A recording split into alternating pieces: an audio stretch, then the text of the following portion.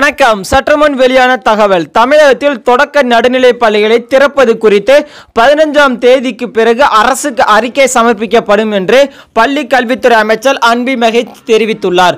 தமிழகத்தில் கடந்த ஆண்டு கொரோனா பரவல் ஏற்பட்டதிலிருந்து பள்ளிகள் மற்றும் கல்லூரிகள் மூடப்பட்டனர். மாணவர்களுக்கு ஆன்லைன் மூலமாக பாடங்கள் நடத்தப்பட்டு வந்தனர். இந்நிலையில் கொரோனா தாக்கம் குறைந்ததை அடுத்து கடந்த செப்டம்பர் ஒன்னாம் தேதி முதல் ஒன்பதாம் வகுப்பு மற்றும் பன்னிரெண்டாம் வகுப்பு மாணவர்களுக்கு பள்ளிகள் திறக்கப்பட்டு இயங்கி வருகிறது. இந்நிலையில் தொடக்க நடுநிலைப் பள்ளிகளுக்கு எப்போது பள்ளிகள் திறக்கப்படும் என பெற்றோர்கள் மத்தியில் கேள்வி எழுந்தனர். இது தொடர்பாக திருச்சியில் செய்தியாளர்கள் பேட்டியளித்த பள்ளி கல்வித்துறை அமைச்சர் அன்பி மகேஷ் தமிழக முதல்வர் சட்ட சட்டமன்றத்தில் பேசும் பொழுது இது என்னுடைய அரசு என்று நமது அரசு என்று கூறினார்.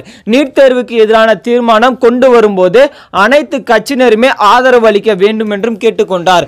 அதற்கு தமிழக பாஜக உள்ளிட்ட அனைத்து கட்சிகளும் ஒருமிந்த கருத்தாக நீட் தேர்வு ரத்து செய்ய சொல்லி பேசியுள்ளதாக கூறினர். இன்று நடக்கும் நீட் தேர்வு தமிழகத்தில் கடைசி நீட் தேர்வாக இருக்குமா என்று கேட்டதற்கு நீட் தேர்வு எதிர்த்து போராடுகிறோம் வெற்றி பெறுவோம் என்ற நம்பிக்கை உள்ளது. அனைத்து கட்சிகளிலும் ஒத்துழைப்போடு வெற்றி பெறுவோம் என்றும் நம்பிக்கை தமிழக முதல்வருக்கு உள்ளது.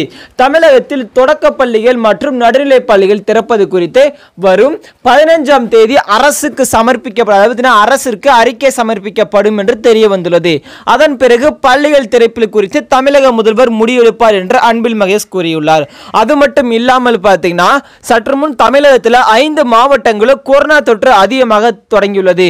அது மட்டும் இல்லாமல் அந்த ஐந்து மாவட்டங்களிலும் பார்த்தீங்கன்னா மூன்றாவது அலை பார்த்தீங்கன்னா வந்திருக்குமா என்ற சந்தேகங்களும் எழுந்த வண்ணம் இருக்கிறது. அதனால இந்த ஒன்று முதல் எட்டாம் வகுப்பு மாணவர்களுக்கு பள்ளிகள் திறப்பதை பார்த்தீங்கன்னா ஒத்தி வைக்கலாம் என்ற தகவலும் வெளிவந்துள்ளது. இதே மாதிரி பயனுள்ள தகவலை தெரிஞ்சுக்கொள்ள எப்போதுமே நம்ம சேனலுடன் இணைந்திருங்கள். அனைவருக்கும் நன்றி வணக்கம்.